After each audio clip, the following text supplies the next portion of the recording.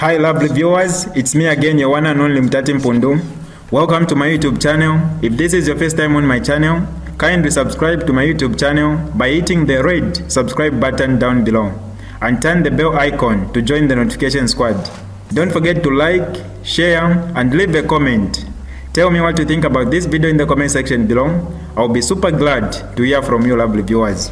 Pardon my voice my lovely viewers, my voice ain't cool. I have flu. But I can't just leave this news without sharing it with you my lovely viewers because I have flu. Hell no. Mutale Mwanza shocks the nation as she writes alarming caption on Facebook. Watch the entire video my lovely viewers, I mean from start to finish to get the whole thing. Without wasting much of your time, let's get right into it. Mutale Mwanza deactivates account as she says, hope I look this pretty in my casket. Zambian media personality Mutale Mwanza has left many social media users in a state of shock after making a scary post on Facebook and deactivating her account.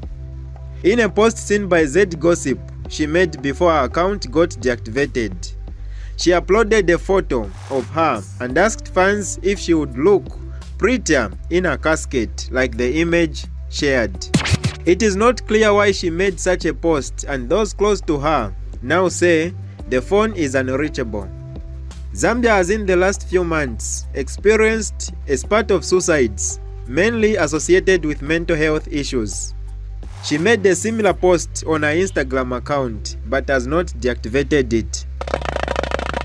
More news to come my lovely viewers, make sure you subscribe to this channel by hitting the red subscribe button down below and also turn on the bell icon to join the notification squad.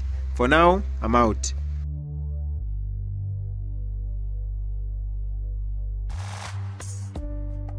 Alright, that's all for you today lovely viewers. If you did enjoy the video, please don't forget to leave a comment in the comment section below.